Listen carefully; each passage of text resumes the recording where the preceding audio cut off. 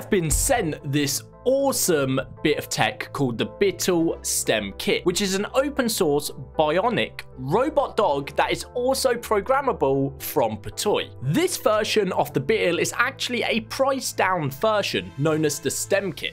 It has plastic gear servos instead of metal ones, making it lighter and more flexible, but also keeping the costs down. This model is best suited for those who want to learn general STEM and who just want to dabble in some robotic fun. In the box, you get the Bittle robot, a controller, charging cable, spare parts, and two additional modules, a Wi-Fi adapter and a USB adapter along with some tools to help you work on the bot. This cool little robot dog has many tricks and features which you can control either with the dedicated controller or an app on your phone. Bittle can walk,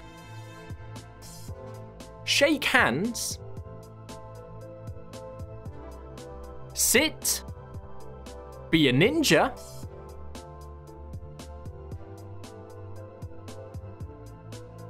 do push-ups, and one of my favorite features is going to the toilet.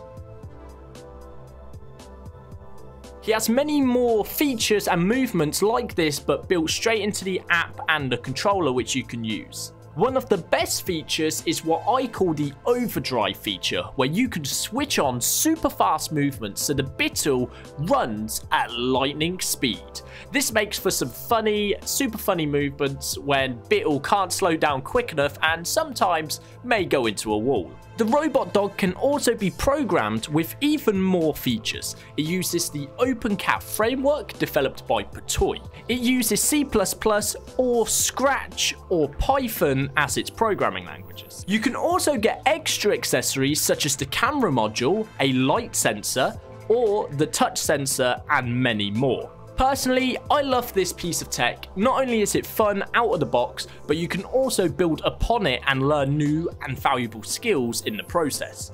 It's great for teaching new people robotics and programming. It's also open source, which means it's accessible for everyone. Now let's talk about what I think could be improved. Personally, I think the design is already really cool. I love the head design, it gives me that Egyptian god vibe. However, I wish I could buy it in other colours. I think Petoi could sell various coloured designs as well as some vanity accessories to customise your dog visually.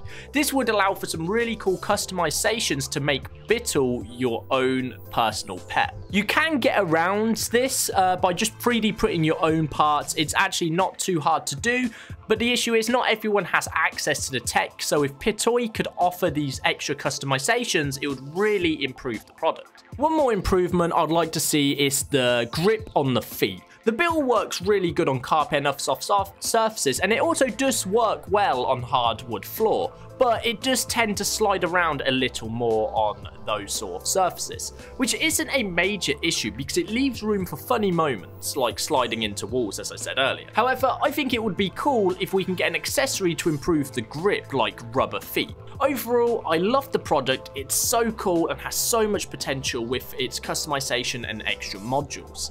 It's also a great tool for education. If you want to learn more about Petoi and their robotic pets, I'll leave all the links you need down below in the description. That's it for this video. I hope you enjoyed it as much as I enjoyed making it. Don't forget to leave a like, subscribe if you're new around here, and don't forget to leave a comment on what you you liked best about the Bittle. I'll see you in the next one. Peace out.